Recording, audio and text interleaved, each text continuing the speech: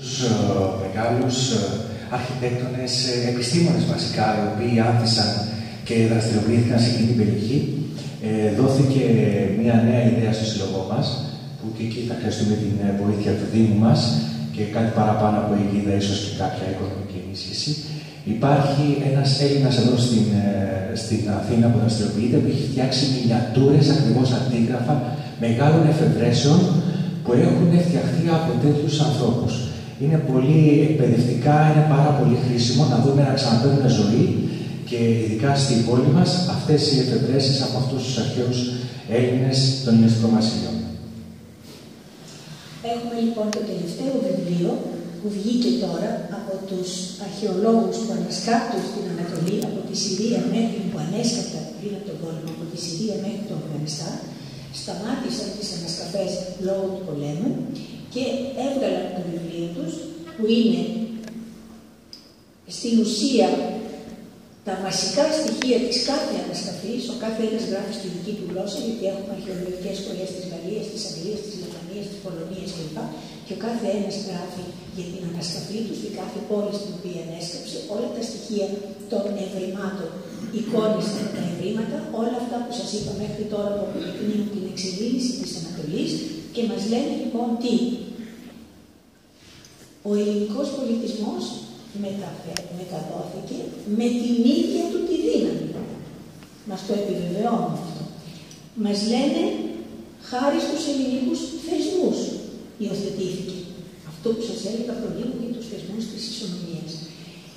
Γιατί το διεθνές εμπόριο δημιουργούσε την ανάγκη μιας κοινής γλώσσας. Σήμερα έχουμε τα αγγλικά, την εποχή εκείνη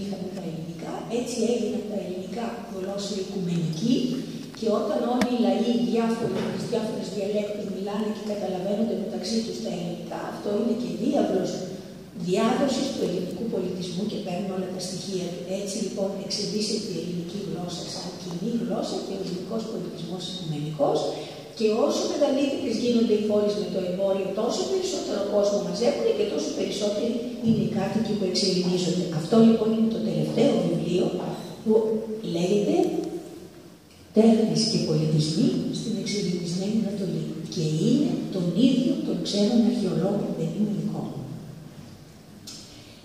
Έχουμε λοιπόν σε αυτόν τον άξονα που λέγαμε προλίγους τις πόλεις τις ελληνικές της Μικράς Ασίας, που ήταν όλες οι ελληνικές αδικίες, τις οποίες απελευθέρωσε ο Αλέξανδρος, προστίθενται όλες αυτές οι ελληνικές πόλεις της Συρίας, εδώ στα παράλια, προστίθενται στην Βόρειο Αφρική οι πόλεις των Λαγιδών στην σημερινή Αίγυπτο μέχρι την Λιβύη. Και τι γίνεται στην εποχή των Ρωμαίων δεξιά προστίθενται και άλλες ελληνικές πολιτείες από τους Ρωμαίους και δημιουργείται ένα τεράστιο τόξο, ένα κύλο τόξο από τη Λιβύη στην Μέση Ανατολή, η Εγγύης Ανατολή όπως τη λέμε, στην Μικρά Ασία, στην Ελλάδα και αν προσθέσουμε και τη Μεγάλη Ελλάδα της κάτω Ιταλίας έχουμε ένα χώρο τεράστιο αμυγός ελληνικού πολιτισμού. Γι' αυτό και αυτή η έξω θάλασσα την εποχή εκείνη ονομαζόταν Ελληνική θάλασσα. Και όταν εγώ πήγα στη Συρία για πρώτη φορά στα χρόνια του 80, οι Σύριοι την έλεγαν ακόμα Ελληνική θάλασσα.